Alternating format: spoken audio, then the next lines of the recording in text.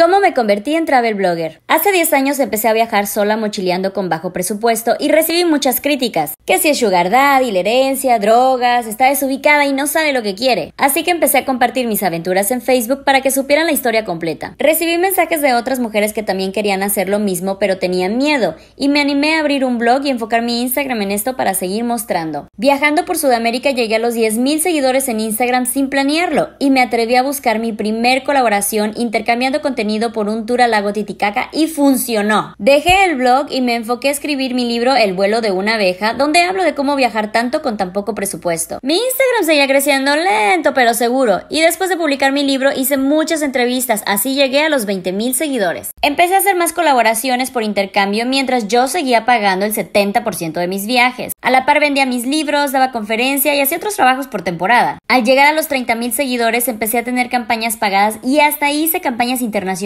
también tuve que aprender a hablar, redactar, conducir, editar, entre otras cosas. Cuando llegué a los 40.000 seguidores y pensé que por fin ya iba a despegar, me estanco por dos años porque mi contenido ya no era novedad. Salieron nuevas redes y acciones como TikTok, Reels, IGTV y no supe llevarles el paso. Me casé, me embaracé y me salí de las redes por cuatro meses. Después de seis años de trabajo me puse el triple de las pilas y ahora estoy haciendo un montón de contenido. Dos TikToks, un post, un Reel, stories todos los días con información en TikTok, Instagram y Facebook, ofreciendo una nueva perspectiva de cómo es viajar con bebé. Esto no pasó de la noche a la mañana, ha sido una verdadera chinga y paso mucho tiempo en el pero poder hacer lo que más amo y vivir de eso hace que valga totalmente la pena.